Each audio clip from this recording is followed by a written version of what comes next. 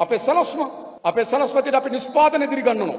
අපේ රටේ නිස්පාදන කඩාවැටලා තිබෙනවා. ඒ නිසා අපි මොකද කරන්නේ? නිස්පාදනය සඳහා අපි නිස්පාදනය නිස්පාදනට අවශ්‍ය වන යටිතල සමාස්කම් දිනු කිරීම සඳහා අපි ණය ගන්න ලෑස්ති. නිස්පාදනය සහ නිස්පාදනය දිනු කිරීම වෙනුවෙන්. හැබැයි සූර්ය වැව් පිටරේට මොකටද ණය ගත්තේ? මත්තල ගුවන්තොට පොළොවට මොකටද ණයට ගත්තේ? ගින්නිල්ලෝය ව්‍යා ගින්නිල්ලෝය ව්‍යාපෘතිය. එන මාතර ගම් වතුර පාලනය කිරීමේ ව්‍යාපෘතිය කියලා ව්‍යාපෘතියක් ආවා. ඒ ව්‍යාපෘතිය මිලියන 4011යි. චීනෙන් ණයට ගත්තේ. චෙක් පත ලිව්වේ කවද්ද? චෙක් පත ලිව්වේ 2015 ජනවාරි මාසයේ 6 වෙනිදා. ඡන්දේ 8 වෙනිදා. 6 වෙනිදා චෙක් ලියනවා. මිලියන 4011ක් නිමල් සිරිපාලේ වෙලා වාරි මාර්ගමති. මිලියන 4011ක් පස් පිටල්ලක් කපලා නැහැ මතක තියාගන්න. මෙහෙමයි ණය වලට සිද්ධ වුණේ. මෛත්‍රීපාල සිරිසේන කිව්වා. නෙළුම් කුළුණ හදන්න ඉස්සරලම හම්බෙච්ච කෝටි 200ට වෙච්ච දෙයක් නෑ කියලා. අපි අපිට අවශ්‍ය වෙන ප්‍රාග්ධන අවශ්‍යතාවය වෙනුවෙන්. සමහර ව්‍යාපෘති තියෙනවා. අපිට ප්‍රාග්ධනය නෑ. ඒ ප්‍රාග්ධනීය අවශ්‍යතාවය වෙනුවෙන් ණය ගන්න ඕන රට. ඊළඟ අපිට අවශ්‍ය වෙන තාක්ෂණය නෑ. ඒ තාක්ෂණ අවශ්‍යතාවය වෙනුවෙන් අපි ණය ගන්න ඕන. ආයෝජන කැඳවන්න ඕන. අපි ආයෝජන වලට කැමති. ආයෝජන කැඳවනවා. හැබැයි මේගොල්ලෝ ආයෝජන කරන කියන මොකද්ද?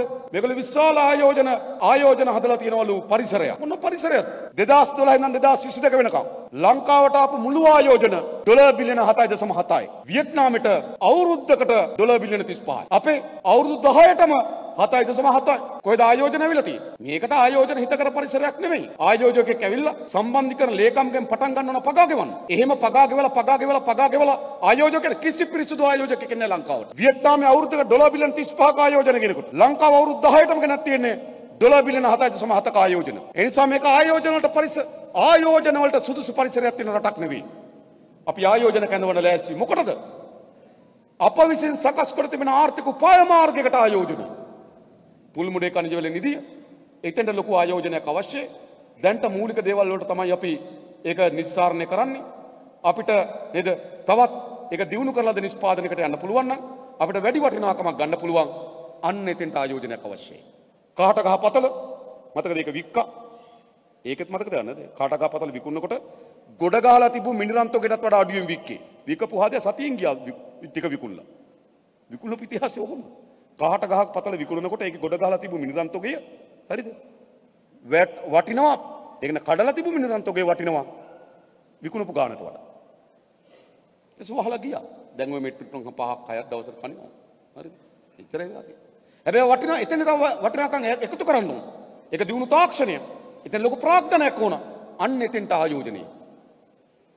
අපි සේවා වෙළඳපොලේ අපේක්ෂා කරනවා විශාල වෘත්තීමේ නිපුණතාවය සහිත ශ්‍රම බලකායක් හදන්න. එනිසා අපිට අවශ්‍ය IT මාකට් එක නිසා ලෙස පුළුල් කරන්න. ඒකට අධ්‍යක්ෂකම් සහිත කණ්ඩායමක් අපිට අවශ්‍යයි. IT ශාස්ත්‍රය සඳහා අලුත් ආයෝජකයන්ට අපි ආරාධනා කරනවා.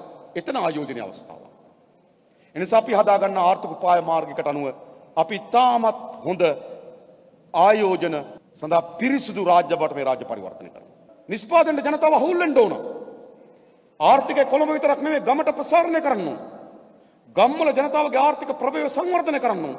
අන්න එතෙන්ට අපි මේක තල්ලු කරන්න ඕනකම තිබෙනවා. ද ආර්ථිකය ප්‍රසාරණය කරන්න ඕන. රටේ ජාතික ධනය සාධාරණ බෙදෙන්න ඕන. අන්න එවැනි නව ආර්ථික සැලසුමකට අපේ රට යන්න ඕන. අපි මේ වෙළඳපොළ කළමනාකරණය කරන්න ඕන. අපි නිදහස් වෙළඳ කිවිසුම් වලට කැමති. අපි නිදහස් වෙළඳ කිවිසුම් ප්‍රතික්ෂේප කරන්නේ නැහැ. අද ලෝකයේ තනි තනි පුද්ගලයන්ට වෙළඳපොළට අවතීර්ණ වීම සඳහා තියෙන ඉඩකඩ විශාල ලෙස ඇවිරලා තිබෙනවා.